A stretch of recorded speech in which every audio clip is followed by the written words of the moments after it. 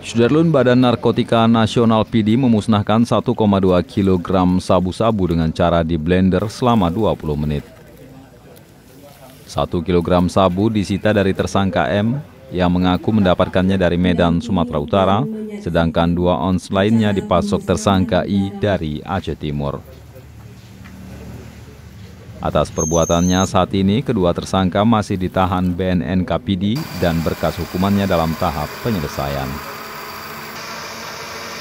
Dari Sigli Muhammad Nazar, Serambion TV.